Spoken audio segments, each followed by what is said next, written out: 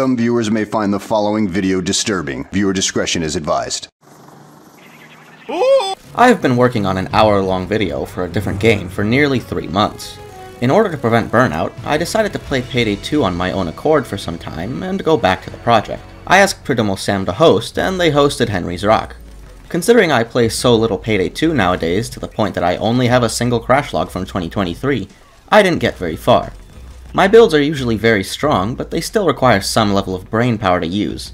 After the crushing realization that I fell off, I decided to make a build that was just flat out overpowered and requires very little brain activation if I struggle that much again. Considering there are several brain-dead weapons and perks, I have to get Ruthless. It had to be really easy to use and as convenient as possible. Nothing in the build can have any drawbacks. No waiting for reloading, no range issues caused by the best and most thought out mechanic ever put into a video game, very little DLC, and next to no concern for aiming or ammo management. So strap in as I walk you through my thought process of making the most overpowered build ever made. The choice of deck is a simple endeavor. Lee Hacker. We're gonna use Hacker. But wait a minute, isn't Leech low effort and brain dead? The answer is yes, but let me justify my choice. Leech has that stupid self-revive, true, but in an attempt to balance the deck, Starbreeze nerfed and neutered the good aspects of the deck instead of removing the self-revive and being done with it. This causes several intended and unintended issues with the deck. Back when it got released, the Ampule effect was stupid strong, so you didn't even go down with the deck in the first place. But now, you heal your teammates less, you lose more chunks, and the Ampule cooldown is 40 seconds. So you get to benefit from the actual good parts of the deck less, and rely more on the self-revive part. Since on DSOD you can only go down twice, a part of what makes a good build is to reduce the amount of downs you have to go through to finish a heist. And since the leech nerfs actively encourage you to go down, even outright killing you due to a bug, it stops being a good option to be truly brainless while achieving good survivability. So that's where Hacker comes into the frame. Plus, with Leech, you take damage, and there's a way to not take damage in this game at all. Taking damage is annoying, so I want to use a friend of mine's quote, just dodge, Lamau. Hacker gives you rechargeable stun, Two of them, in fact. It gives HP regen, health, and most importantly, too much dodge. Hacker on its own can survive just about any bullshit, but combine that with Bullseye and the weapon I'm about to show, every heist becomes too easy. Weapon choice was the hardest part. There are several brain-dead options, so let's go through them one by one. Basilisk with the exclusive set lets you stun lock most of the map and has good ammo pickup. But it doesn't reload fast, and projectiles are not reliable enough when playing as Client. To get hits further, you have to aim upwards, and you know what? That's just too much effort. Plus, it's tied to a late piece of DLC, which are slightly more expensive than legacy stuff, so no.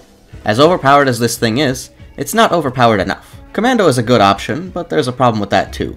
Projectile jank for client side is still a thing, and I would have to make use of ammo bags to be brain dead. There are several maps where using ammo bags to run commando isn't all that viable, and if the build doesn't work in every conceivable situation, then it doesn't deserve to be called the best build ever made. So I come back to this underused piece of shit again. No, this one. The Tombstone is entirely free and is better than the old Dragon's Breath. They introduced this ammo type in the same update that nerfed Dragon's Breath 2. Good job guys, way to balance the game. Tombstone deals fuck tons of damage per shot, on top of stunning every enemy besides a dozer. Combine that with a high ammo pickup, easy to use, high mag capacity weapon, and you got yourself a perfect gun that fits the requirements. Easy to use, no range problem, no ammo upkeep, fast reloads, no aim requirement, no effort, all effect. There is only one issue with it. It can't kill dozers. Do we give up? No. We just do it better.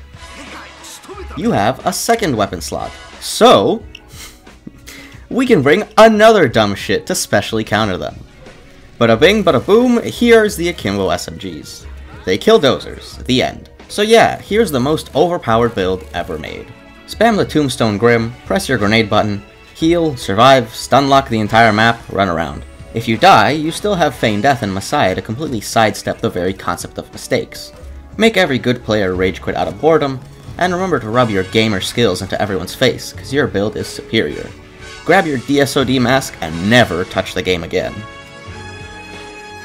Thank you so much for watching, and huge thanks to Carrot for the voiceover. My niece is usually around, and children make noise, so I couldn't get the voiceover for this one. A huge thanks to the current dev team for making the game worse, and ruining everyone's goodwill, and you, the viewer, I'm glad you're here. Stay safe, folks, have a good one, and pray to whatever god you believe in for the Starbreeze staff to learn from their gargantuan fuck-ups.